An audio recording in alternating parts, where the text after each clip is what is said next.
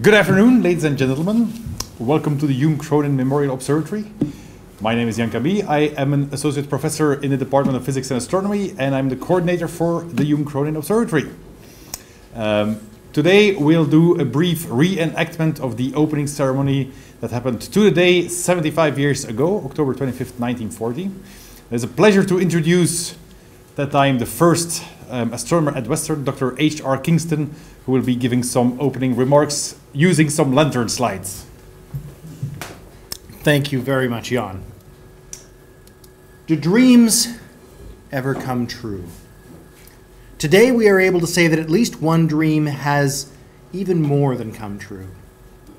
For many years, the Department of Mathematics and Astronomy at the University of Western Ontario and the members of the London Centre of the Royal Astronomical Society of Canada have dreamed a dream and seen a vision. Today, that vision is a reality in this beautiful Hume Cronyn Memorial Observatory and Telescope, and made possible by the generosity of Mrs. Cronyn. It will be recalled that Mr. Cronyn, as London's representative at Ottawa during the latter part of the Great War, consistently urged upon the federal government the pressing need for a research bureau for studying Canadian problems. His untiring efforts led to the creation of the National Research Council of Canada. A little over a year ago, upon learning of the efforts of the university to secure a telescope, Mrs. Cronyn decided to erect as a memorial to Mr. Cronyn and his life's work, an observatory equipped with a suitable telescope. In December, the contract for the telescope and the revolving dome was let to the Perkin Elmer Corporation of New York, and the contract for the building to the Putherbo Construction Company. A word of genuine thanks is due to each of these organizations and also to Mr. O. Roy Moore and Company, the architects, for their untiring efforts and patience, both in producing a building which is substantial and beautiful, and for the gift that made the entire project possible. We are grateful beyond words to Mrs. Cronyn. Perhaps a few remarks about the telescope may be of interest.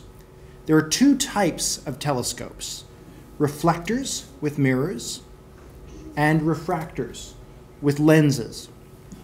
Ours is a refractor with a lens, in reality, a double lens, 10 inches in diameter. This is the largest lens that has ever been made in the Western Hemisphere.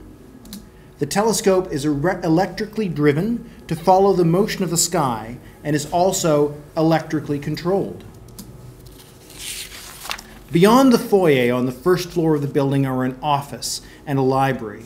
Both are turned into instrument rooms for the occasion today. The basement contains a lecture room and a small workshop. On the second floor at the back is an observing deck. With this equipment, we shall be able to conduct some valuable research in certain definite fields, as, for example, the problem of obtaining the life history of variable stars. The principal purpose of this equipment, however, is to aid in the teaching of astronomy. Then, too, it will be a great stimulus to the work of the local astronomical society. Further, we wish the observatory to provide a cultural service to all the citizens of London and vicinity, and we shall implement this wish to the utmost of our ability. The observatory has already received some further gifts. A group of models constructed by Reverend W.G. Colgrove has been given for demonstrating astronomical phenomena. These are the most helpful instruments for this purpose that I have ever personally seen. A set of striking astronomical transparencies, some of which you will see on the walls of the foyer, have been made from negatives loaned to us through the courtesy of the David Dunlap Observatory. The members of that staff have already made many helpful suggestions in connection with this project. Thank you, Dr. Chant. A very unusual gift is the Dresden meteorite provided by the directors of the London Life Insurance Company.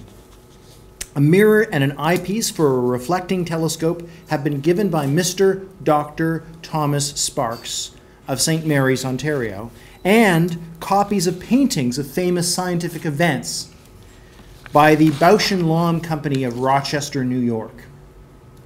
To all these persons we offer our sincere thanks. But I must not weary you further. I know you would much prefer to see the building and the telescope for yourselves.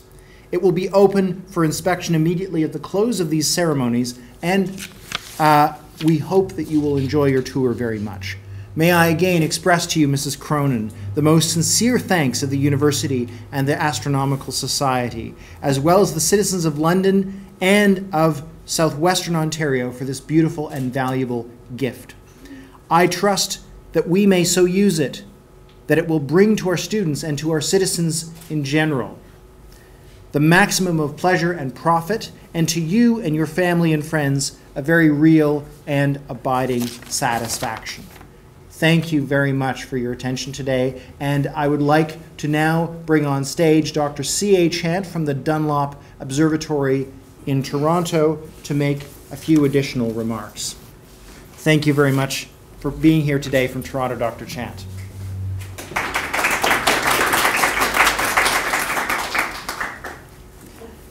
It is with great pleasure that I bring to you hearty greetings from the University of Toronto, and more particularly from my own institution, the David Dunlap Observatory. I feel I am justified in adding the congratulations of the members of the Royal Astronomical Society of Canada. Professor Kingston has been very active in the work of the Society and was the president of the entire Society in the years 1930 and 1931. Its members, who are distributed across our broad country, will rejoice in the wonderful reward of his labors here.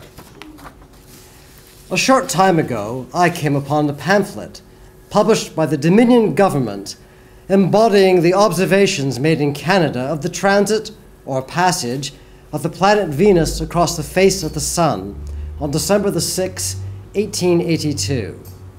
This astronomical event was considered very important. It was thought that it offered a method of determining more accurately the distance of the Earth from the Sun, which is the astronomer's yardstick for measuring the universe.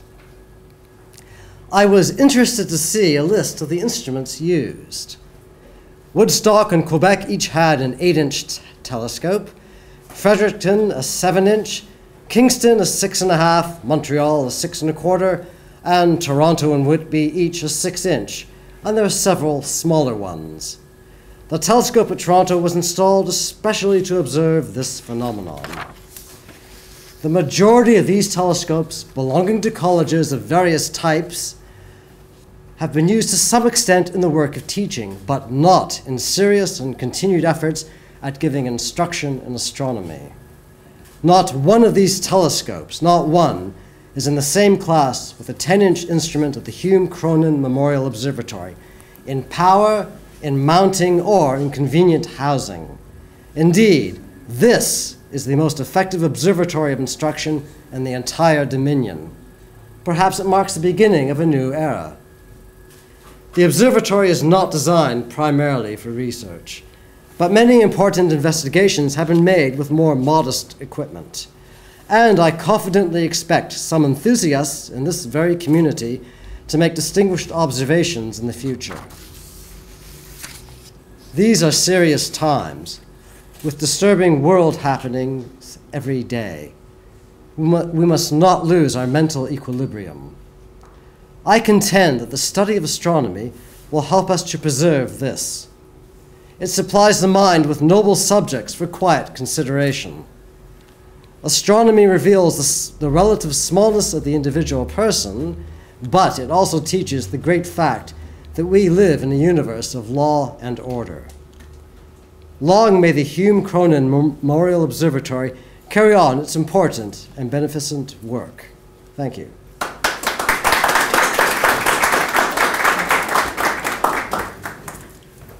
I would like now to call upon the past president of the Royal Astronomical Society of Canada, to read a few remarks from various places in Canada uh, that have sent telegrams for this occasion. Peter Jedicke.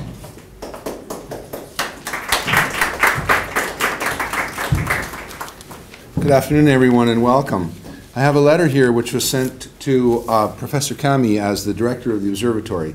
On behalf of the Edmonton Centre of the Royal Astronomical Society, it is my honor and pleasure to extend congratulations on the occasion of the 75th anniversary of the official opening of the Hume Cronyn Observatory. During the past 75 years, the science of astronomy has seen dramatic changes in content and methodology. In contrast, during those same 75 years, the Hume Cronyn Observatory has not changed in its commitment to the education of university students and in serving the general public as a reliable source of scientific information and inspiration. That wonderful old refractor and the stone building in which it is housed reflect the solid roles that they play within the university community and within the community at large. They should outlive all who gather for this year's anniversary celebration. 75 years from now, mankind's understanding of the structure of the universe may be dramatically different from what it is today. I anticipate, however, that in 2090, the Hume Cronyn Observatory will, in the hands of new staff and dedicated volunteers, still serve the educational and inspirational functions that it does today. I regret not being able to participate in your anniversary celebrations this year, but look forward to visiting the observatory during the RASC's General Assembly in London in 2016. Congratulations to you, to your staff, and to your volunteers on this remar remarkable occasion. Respectfully yours, Dr. Douglas P. Hube, Honorary President of the Edmonton Centre of the Royal Astronomical Society of Canada. And I would just like to add that in 1940, on this date, the person who was the honorary president of the Edmonton Centre of the Royal Astronomical Society of Canada then had also sent a similar letter. The second letter that I have says to the staff of the Hume Cronyn Observatory, on behalf of the members of the Toronto Centre of the Royal Astronomical Society of Canada, I wish you congratulations on the 75th anniversary of your historic observatory. Our own Dr. Chant and Mrs. Dunlap attended the opening event in 1940, and I understand that the 254 millimeter refractor at Hume Cronyn is the largest refracting telescope currently open to the public in Canada. I hope its operations continue for the indefinite future. Sincerely yours, Eric Briggs, Secretary of the RASC Toronto Centre. Thank you.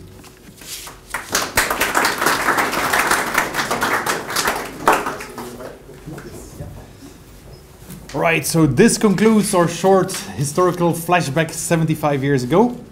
It will be now my pleasure to introduce you um, to our facilities. I'll give you a private tour of the entire facility that takes probably about 15 minutes. I'm only going to highlight a few things about the observatory, and after that, um, you are completely free to take as much time as you like in the different rooms of the observatory. Um, we have a couple of telescopes set up to uh, look at the sun in a very safe way today, so that's also something unusual. Um, and then if you have any questions, there's many people around that will be very happy to answer any questions you may have. So without further ado, we'll start our tour right outside this room here.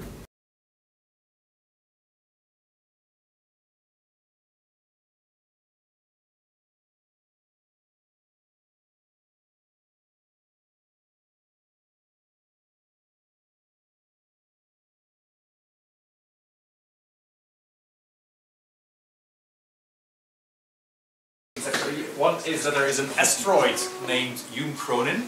It's named after this Hume Cronyn. It was discovered in 1997 and it orbits somewhere between the orbits of Mars and Jupiter around the Sun. And in fact, the person that suggested naming it Hume Cronyn is the person that just read these congratulatory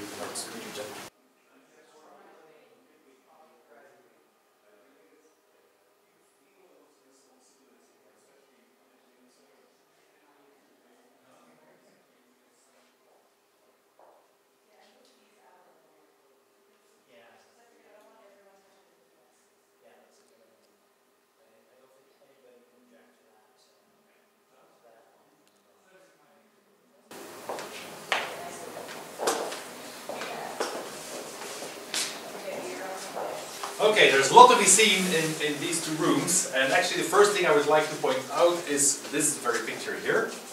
This is a picture that was taken in the early 40s, What it shows is an office that was upstairs. It's H.R. Kingston, so the first astronomer in Western. H.R. Kingston's office. And at his desk we see Reverend Colgrove. Uh, he was an amateur astronomer, but he was very gifted at building teaching aids to teach various aspects about astronomy. And so this picture from 1940 um, um, has Colgrove at Kingston's office um, with some toys tools, with some prints at the back here. What we have tried is to recreate everything you see in that picture. And right here, if you look in this room, you see H.R. Kingston at exactly the same desk, same chair, telephone, and right? So please feel free to come in to the period room. Here was the workshop. So a lot of to do. There's two things I would like to point out. Um, number one is on that side, in a display case, we have the original guest book from October 25th, 1940, 75 years ago. It's open at the first page, and on the poster above it um, are some of the names of the people that signed that guest book. The first, the second thing I would like to point out is there is a display case right here in front, and it seems to contain two big rocks. And what it is, is the piece on the left is the very famous Dresden meteorite.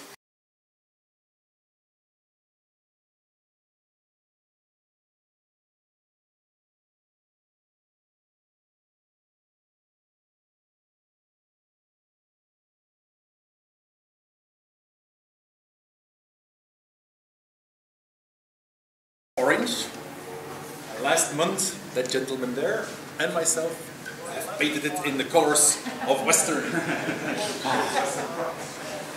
uh, when the telescope came to the observatory, uh, there was this second tube, the one that you see beneath it.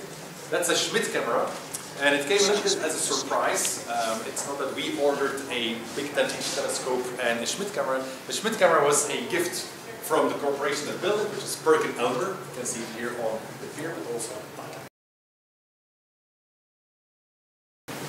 Perkin Elmer Corporation is a very known corporation, certainly their optics division. Uh, this gentleman here, Richard Perkin, traveled all the way from New York on October 25th, 1940 to attend the opening ceremony. Uh, Perkin Elmer made a lot of other uh, instruments. I think maybe their most famous contribution is that they built the mirror of the Hubble Space Telescope. But they also had instruments on the Viking landers on Mars. They did a lot of uh, reconnaissance missions as well. One other thing I would like to point out here is that, as I said, the youngest son of Hugh Cronyn uh, became a famous actor. And right there we have a picture of the actor Hugh Cronyn leaning here. The one question that we often get is like, how can you actually see things with the telescope and move things? Well, actually the dome is completely freestanding. Right? It's a heavy thing, which is good, so it doesn't blow away. Now with this button here, we actually make it move. Alright, and so we can only look through that opening, but we can turn that opening to whatever part of the sky we like. And then we have these computer-controlled drones. okay, so this is the way it was done. So basically, by carefully thinking where you want to move the telescope to, you can pretty much turn it in a lot of different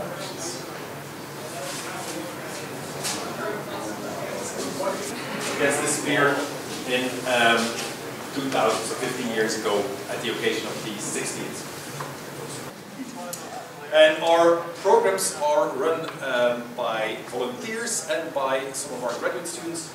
The best graduate students we select to run these programs, and they do that together with the people from the Royal Astronomical Society of Canada. There's a poster there describing some of their activities. They help us out um, with setting up telescope people. And actually, right now, we have some telescopes outside trained to the sun, and so you can look at the sun in a very safe way. You should never ever, though, look directly at the sun without proper protection, because there is no pain nurse in your eyes, so you can easily burn your retina without feeling it. That would not be good.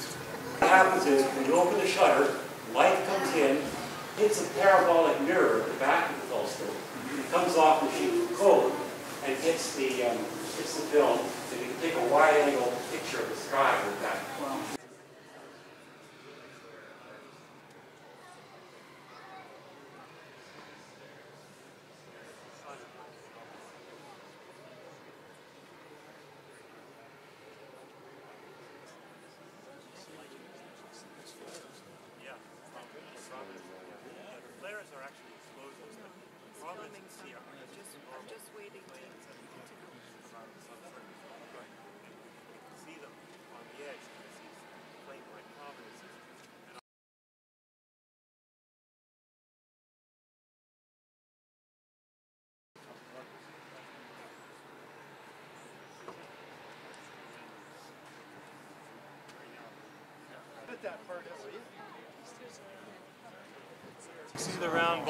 look, when your eye's right over top of it, you see the round ball.